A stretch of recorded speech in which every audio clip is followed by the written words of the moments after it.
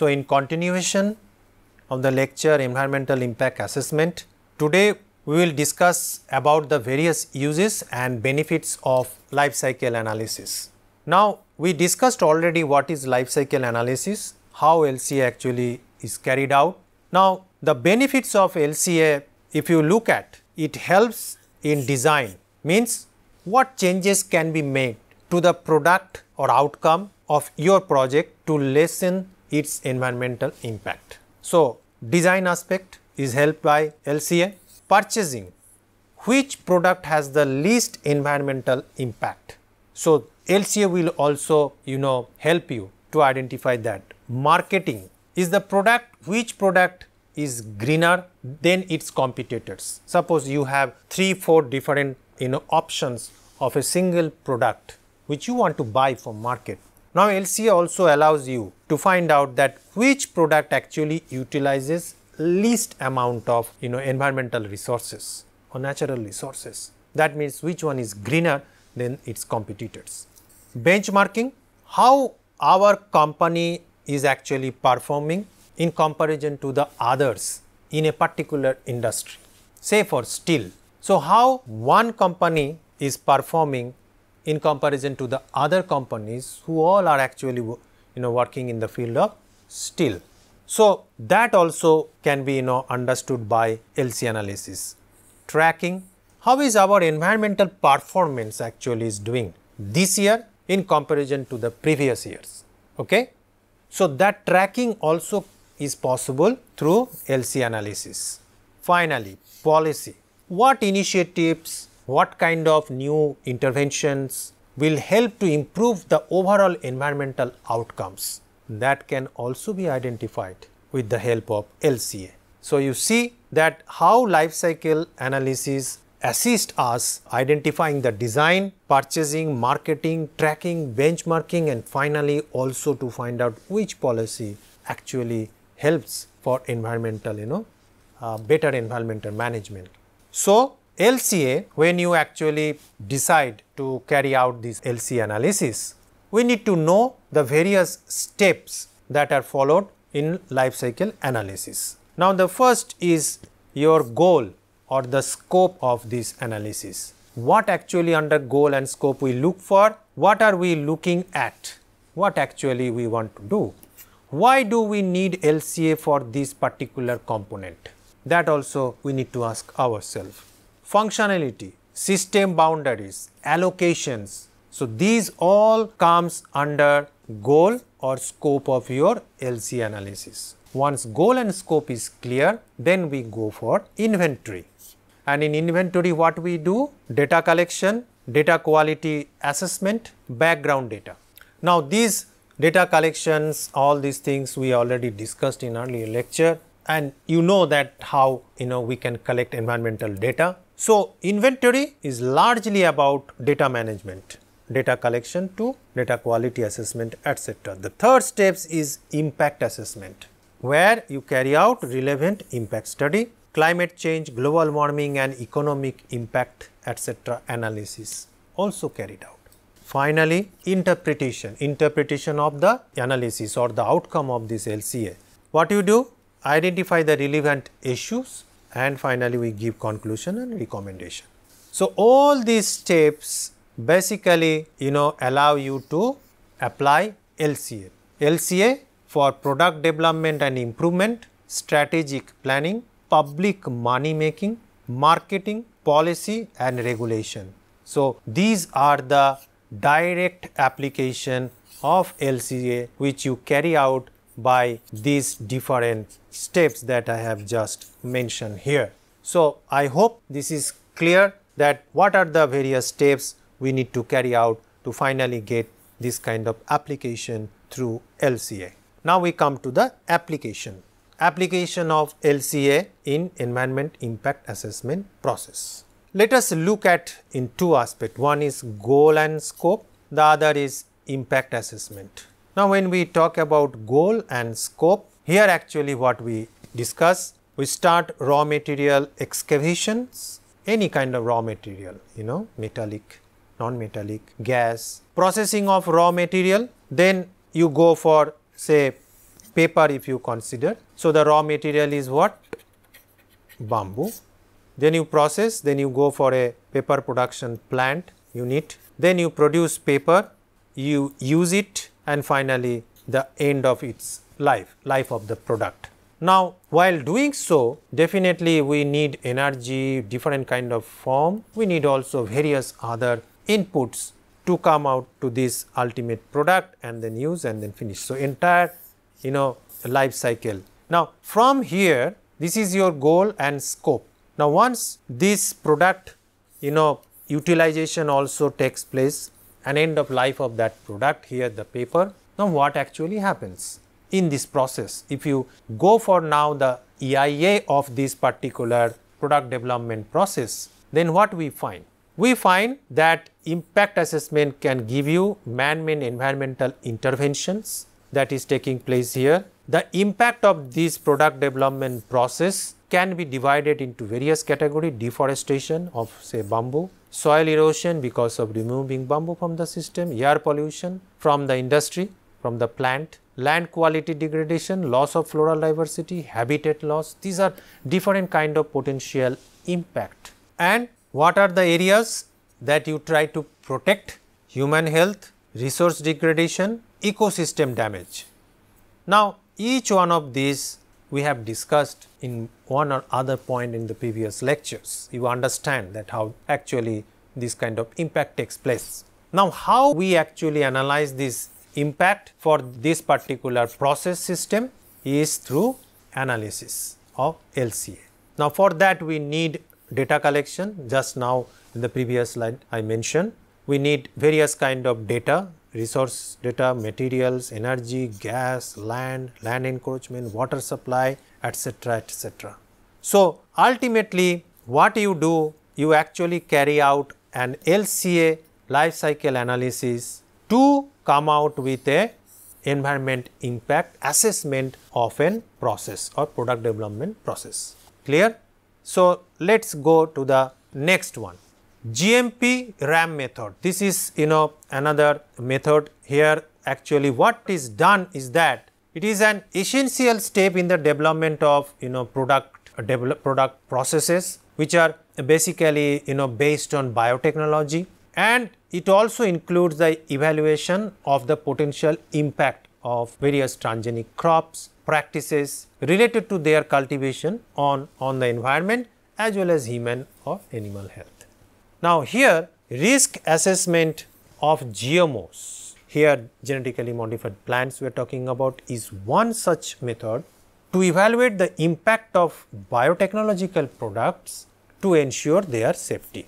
Many debate, many deliberation you might have seen or read in newspaper and other forms of media. This kind of assessment is performed through environmental, economical, social capability and institutional approaches.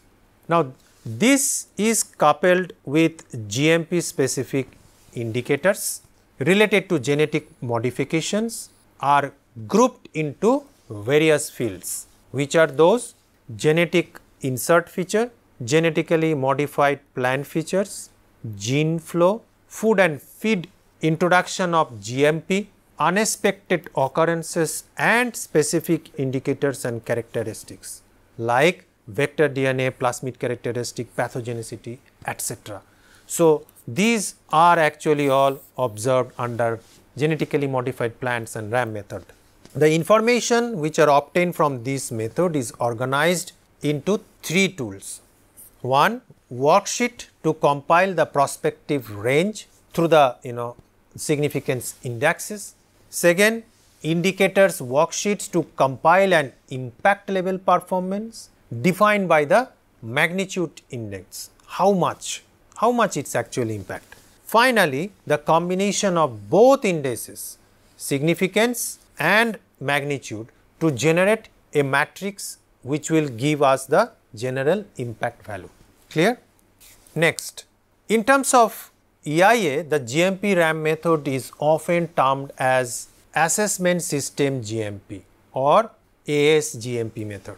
This diagram in this slide shows the structure of ASGMP method, how it looks like. Now, the different range of analysis which are including significance index analysis, prospective assessment. Now, this prospective assessment will be carried out of course as I said in the basis of significance indices and prospective range analysis. Once this is done then it goes into your impact matrix analysis. Okay? And on the right hand side where you are studying the impact level performances, here you use on the basis of magnitude index, you actually come down to different performance indicators. These performance indicators also plays a major role in the impact matrix formation. So, in impact matrix formation, your prospective assessment outcome and performance indicators based result will come in and finally, you will get that what kind of impact because of introduction of you know certain GMPs is actually creating on the environment or on the surrounding other organism in the ecosystem. So, these methods is known as assessment system GMP method all right. This also a part of EIA which helps to assess the organism's impact on ecosystem and health, human health. Continue with the GMP RAM method description. There are 6 steps involved in this GMP RAM method and they are first biotechnology characterization. What you do here? Genetic characterization of the plant is the first step to be performed under this you know step which involves the physical, chemical, nutritional and reliable parameters of a product. Very simple. Next step, genetic information. This is bit critical. Here we need information which are relevant to the particular plants of your target, their genetic configuration, the genetic vigor is basically studied under this step. What are the information that we look for? Description of traits and characteristics, information of the consequences, inserted you know information of the sequences inserted or deleted from the gene, genomic databases of the crop species, methods used for expression analysis, donor features means from where you are getting that particular uh, gene. Say you know you might have read in articles or in media that in India one organization has developed you know rice plant which can actually tolerant salinity, right. So, basically uh, saline condition is not good for any plant per se. So, rice plant which are actually growing you know in saline areas or nearby sea areas. So, there you need some kind of rice plant which can actually able to tolerate the saline environment. Now, that saline gene has been taken from some mangrove you know species and that gene has been inserted into the rice plant and the rice plant becomes salt tolerant. So, donor here is the mangrove plant. Now, recipient features means this particular plant rice plant information on how the GM crop differs from the recipient plant in terms of reproduction, survivability, durability etc. So, comparative assessment. Application scope means if you develop this kind of say salt tolerant rice plant, its application certainly it can be applied in the area where salt intrusion is there. Third step genetically modified plants assessment. The assessment is performed through the analysis of indicators which are arranged according to their area which are you know some written in coded uh, mechanism and these indicators or coding is done in two ways one is general the other is technical. Now, the general assessment is done environmental, institutional, capacity development, economy and social aspect. The technical assessment is done by studying genetic features, GM plant features, gene flow, food feed field, introduction of GMP, unexpected occurrences and specific indicators field. So, two kind of assessment genetically modified plant assessment that we carry out general and the other is technical. So, finally, based on this kind of uh, assessment general and technical assessment the impact matrix is formulated. The significant index and magnitude index which we discussed earlier, both general and technical assessment is determined. Now, how they are actually expressed? As you see here biotechnology range here into extent equal to is the significance index which is a general assessment. Okay. Safety test, plantation site, reproduction species, risk perception, these are actually expressed by significant index which is a technical assessment.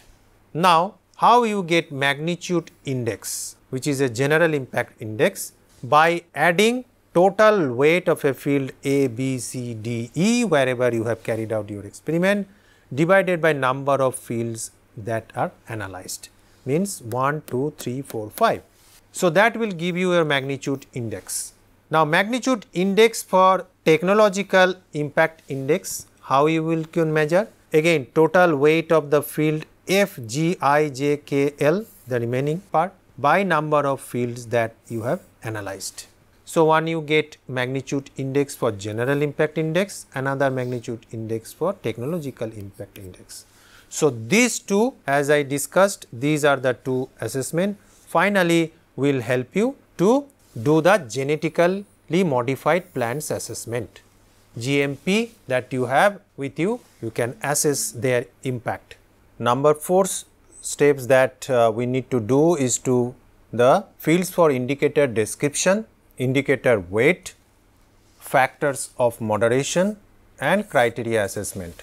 So, we are actually uh, discussing the second method of EI you remember. The first one was LCA and then we are now discussing about the second one. Within second one we are discussing the various steps of GMP RAM method of EIA.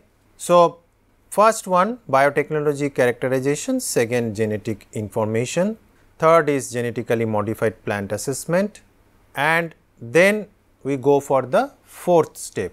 This particular step of GMP RAM method of EIA, the summarized data of the indicators worksheet that are identified and compiled with the contribution of experts from various areas of this particular assessment approach.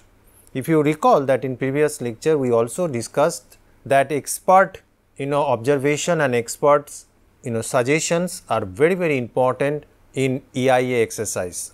In this particular step of GMP-RAM method, it is also you know done firstly to identify and consolidate the necessary indicators and thereafter we need to make the adjustments of indicators weight and weights range for each moderation and correction factors whenever it is necessary.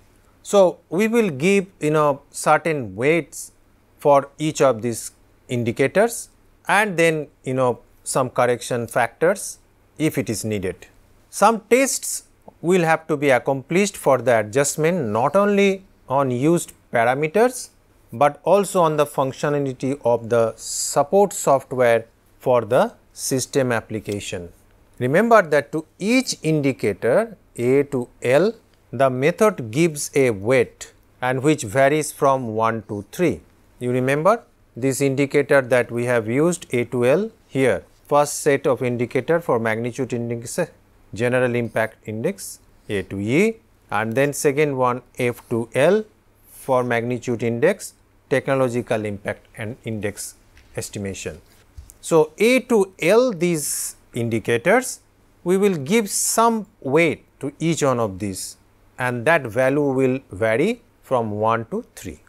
Next, indicators that show a higher weight are the ones with significant impact. In the case of environmental field, the indicators of environment recovery have weight 3. Since this you know particular item is a certain environment may be you know recovered on the basis of its different future use for conservation and preservation. So, if you see that there is a potential for recovery then you give actually 3 weightage. On the same way it is given the maximum value of 3 to the field unexpected events since it being the possibility of adverse of undesirable effect. So, I repeat again indicators that show higher weight are the ones with significant impact and in the case of environmental field the indicators of environment recovery have weight this should be 1 weight 1 since according to this item a certain environment may be recovered its future use for conservation and preservation. On the same way, it is given maximum value to the field unexpected events since it brings the possibility of adverse or undesirable effects to the environment. On the other hand, indicators added by users have weight 1 so that the final result does not suffer gauge distortion means in the environment there will not be any kind of distortions and in that situations the weight that we give is the minimum that is 1 all right. Step 5 data information for the evaluation field. Now here literature you know searches or prospective data must be the source of scientific data and describe to perform the ex ante analysis or the scenario elucidation of the GMP method. Now, experiment results from this kind of application must be used as the assessment basis for weight allocation. The collected data must be inserted in the worksheet's central column in order to ensure the accuracy and support of the you know achieved result. These data will be shown on methodology results in electronic format as a descriptive report. The next one, next step is matrix of impact, where actually you can see that whether the impact is really taking place or not. Matrix assessment is performed to review the potential impact and establishing at which level the impact management through preventive or corrective actions must be taken in order to allow an effective and safe use of transgenic crop. As I said at the very beginning that you know GMP or GMO is a sensitive issue and we all know that how much of uh, discussion deliberation in every fora has taken place even now it is going on there are so many you know gmps are around but only one or two after several years of field trial checking of environmental ethics and many other things finally has been given approval to grow it I can give you one example of golden rice. Some of you might have heard about this. Now, golden rice is the rice which has you know vitamin A rich rice, carotene rich rice, which actually helps you know for people who are having uh, vitamin A deficiency and due to that has several other problem like eyes or other problem. So, if for them for those you know people who are poor they cannot have the other supplementary or sources of, of vitamin A, they can just have golden rice which is enriched with vitamin A. Now, this golden rice also has gone through lot of you know debates, testing and finally, I think the country Philippines has given the permission to grow this rice at the farmer's field. That is a very big decision. Now, like this there are many other GMPs also uh, you know have, have been developed and are going through field trial or testing. The matrix is constructed with two axes where x axis stands for classes of the index of magnitude, two type of magnitude if you recall. Magnitude index general impact index, magnitude index technological index. So, and the y axis stands for the classes of the significance index with you know different scores which will dictates whether a GMP is favorable for marketability or not. So, that test you know matrix impact test is very important finally whether a GMPs will be actually allowed for you know common people use or not. Now, little bit on impact matrices actually how it actually takes place. So, if you see that two significance uh, index one is the general and another is technical. Now, in case of general significance index 11 to 20 if you get then it is actually very favorable 1 to 10 favorable and you know 0 to minus 20 is unfavorable which we call a very low performance. So, now this uh, index you actually calculate like this one here you have 12 plus 8 plus 4 that means 24. So, 11 to 20 high performance uh, significance index and 1 to 10 medium performance and then minus 9 to 0 low and minus 20 to minus 10 here very low performance. So, this is the x, you know x axis and y axis that I was talking about. Now, in case of uh, magnitude index you know technology there also you will find that similar kind of values are given here. So, these uh, values basically allows you to understand the impact of a particular GMPs on the environment or surrounding other organism in the ecosystem. So, from these matrices then you take a you know final decision whether this particular GMPs is suitable to go uh, for people or not. But of course, this is not as simple as, as it seems. So, there are various other issue. There are also you know different kind of social matrices, social studies also carried out for this kind of testing. Now, GMP RAM methods of EIA as you see that there are different assessment uh, scenario for GMPs having corresponding performance and then on the basis of performance you recommend or you cancel you do not recommend that particular thing or you advise for certain further you know testing or further other necessary steps to be taken. Say suppose assessment scenario unfavorable in early implementation. So, it is low success and you do not recommend. Unfavorable again low performance, restrictions and corrective actions are recommended. If you find again unfavorable with medium performance, you recommend for monitoring with restrictions. If you find it is unfavorable, then without any kind of you know performance limitation, then you actually hold your you know decision and you, you send it back for another testing and then you check that whether it is favorable in early implementation or not. Again if you get low success then you say management with restrictions. If then comes favorable low performance you again recommend for corrective actions. If it becomes favorable, but with medium performance recommendation is management is required.